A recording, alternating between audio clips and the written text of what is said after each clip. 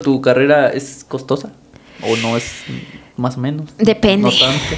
Fíjate que... ¿Depende de la materia? O... No, fíjate que afortunadamente, y es que precisamente yo también tengo mucho ese piqui con los profesores que me evalúen con puro examen. No me gusta que me estén pidiendo tareas, no me gusta que me estén pidiendo trabajos. Este, precisamente por los tiempos también. claro. Pero, este, si tú te quieres poner a comprar todos los libros que los profes te recomiendan, te va a salir muy cara la carrera. Muy, muy cara. Pero, pues, si eres como yo, que pues, dices, chingue su madre, un PDF. O sea, porque hay... Es, es más esa mamadez de nada más tener el libro en físico. Ajá, sí. Mm. Sí, sí, porque en, practicidad lo puedes tener. en el- Exactamente. Ajá. Y bueno, también es muy importante, así que yo lo que recomendaría y siento que en cualquier carrera, tener una computadora. Pero tuya. O sea, que te puedas llevar y traer a la escuela y que jale bien. Ah, Son una lap. Ajá. Nada sí. más cara, pero que saque la chamba. Ajá, sí, o sea, que, que funcione y que, y que no tengas que conectarla porque no hay, no hay conectores en las universidades. O sea, ¿Cómo? y No hay. en la mía había, pero por cuestiones de, imagino, recorte de presupuesto, no sé, pinche justo, Ajá. este, eh, los están tapando.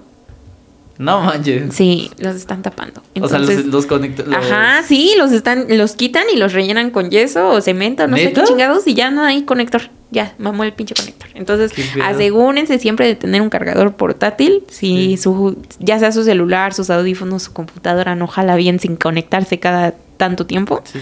O este, o cómprense algo que aguante la batería. Porque si no.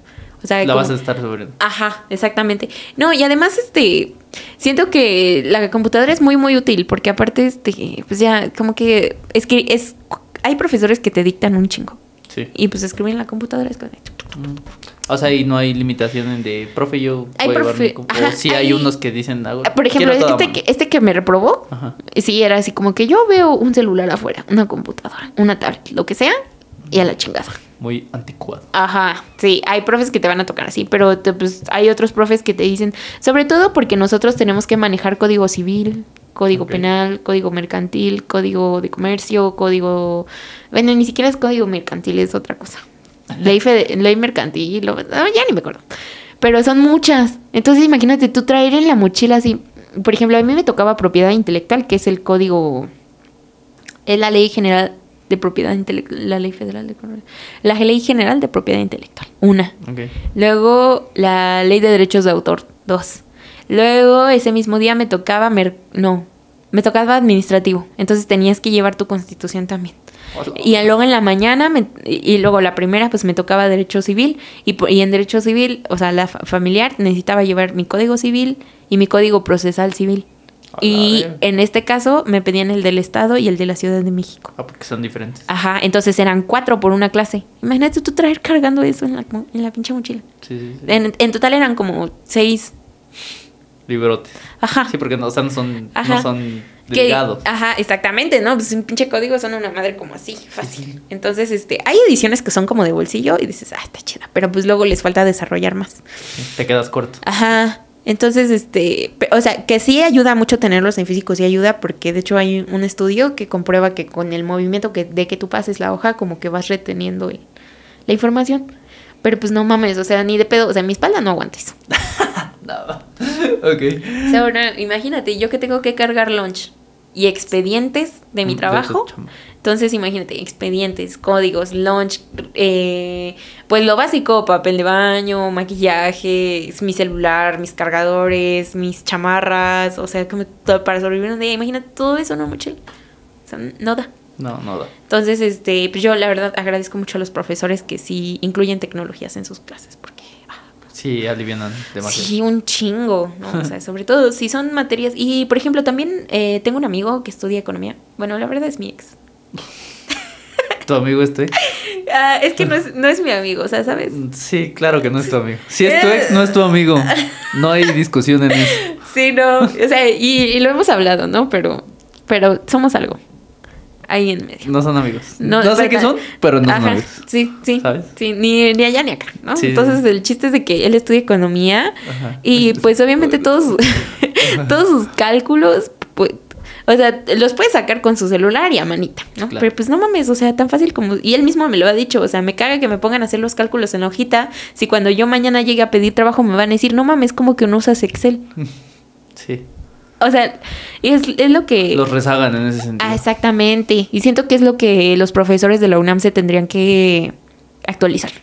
Y no es ni siquiera de capacidad, o sea, es de puro pensamiento, porque así, ese profesor que no me dejaba sacar tecnología es precisamente por convicción.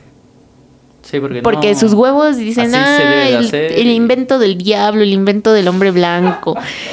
Pinche viejo. tecnología No enemiga, ¿no? Ajá, pero tengo otro profesor que es yo creo que de la misma edad y así el profesor así en sus clases las llega con su computadora, nos da la clase presencial y la da por Zoom también. ¿Para qué? Y el mismo profesor lo dijo, para los que no puedan llegar, Ah, huevo. Qué buen tomen profe. la clase. Ese es un buen profe. Ajá, y no, y pues trae sus diapositivas de PowerPoint y no mames cómo me mama esa clase, ¿no? Sí, porque trae sus diapositivas de PowerPoint y no es puro texto. O sea, trae un diagrama y te dice, ah, mira esto, esto, ah, mira esto, el otro. Y, pero así te lo explica, se nota que conoce.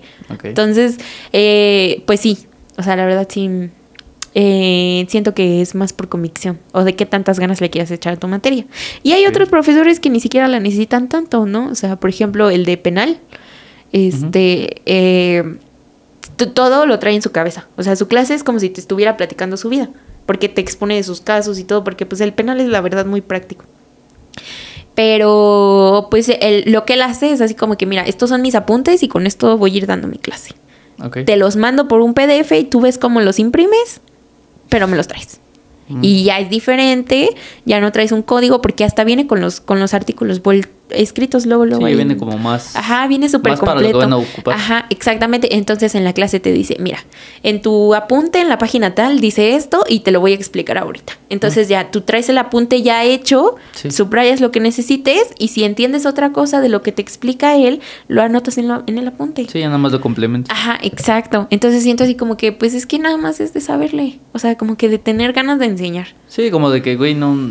Es más, hasta te ayudaría a, a optimizar tus clases, ¿no? Ajá, exacto. Y, y na- nadie sufre. Exacto.